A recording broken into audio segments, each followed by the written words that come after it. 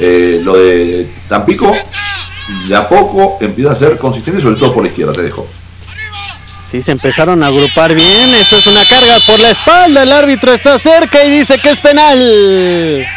No lo dudó de inmediato, señaló hacia el manchón penal.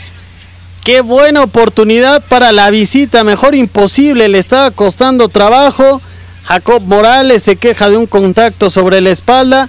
Enfrente está Joel García. Figueroa frente a García. Viene el de Pumas. Tabasco. Gol. Gol.